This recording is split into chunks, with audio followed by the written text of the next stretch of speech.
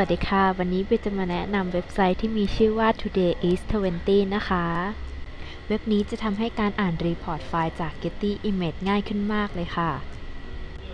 ก่อนอื่นเราก็เข้าไปที่ todayis20.com และทำการล็อกอินเข้าระบบให้เรียบร้อยนะคะ เมื่อเข้ามาแล้วจะเห็นว่ายังไม่มีข้อมูลอะไรโชว์ขึ้นมา ก่อนอื่นเราจะต้องไปดาวน์โหลด text ไฟล์ซึ่งเป็น report จากทาง Getty Image ก่อนค่ะ ทำการล็อกอินที่ esp.gettyimage.com จากนั้นก็เข้าไปที่ Account Management และเลือกหัวข้อ Royalty เมื่อเลื่อนมาด้านล่างสุดเราสามารถดาวน์โหลด text ไฟล์มาได้เลยค่ะสำหรับใครที่โหลดผ่านคอมนะคะ ก็จะได้เป็นไฟล์มา แต่ถ้าใครโหลดผ่าน iPad ก็จะขึ้นเป็น text แบบนี้ เดี๋ยวเบียร์จะมาสอนวิธีการเซฟไฟล์ text บน iPad กันค่ะ ก่อนอื่นก็ทำการ select ไฟล์แล้วก็ copy เปิดแอปที่ชื่อว่า edita tap ที่เครื่องหมายบวกและเลือก new file ตั้งชื่อไฟล์และต่อท้ายด้วย .txt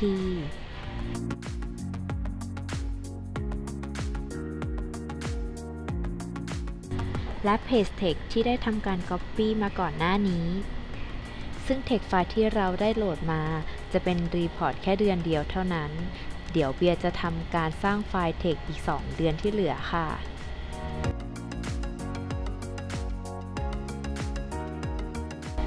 เมื่อเรากลับเข้าไปที่หน้าดาวน์โหลด report เราสามารถเลือกเดือนที่เราต้องการดาวน์โหลดได้ค่ะ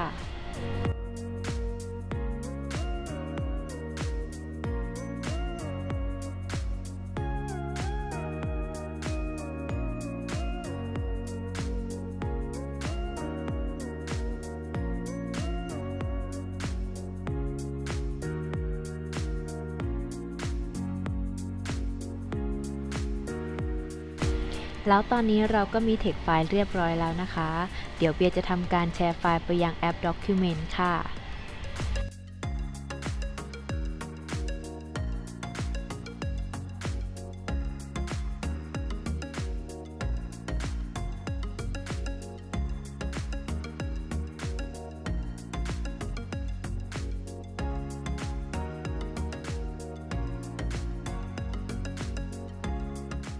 กลับมายังเว็บ Today is 20 และเลือกที่ไฟล์ Manager ค่ะ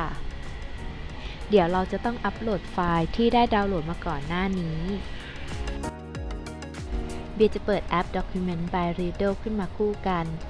จากนั้นจะทำการ drag และ drop ไฟล์ไปที่หน้าเว็บไซต์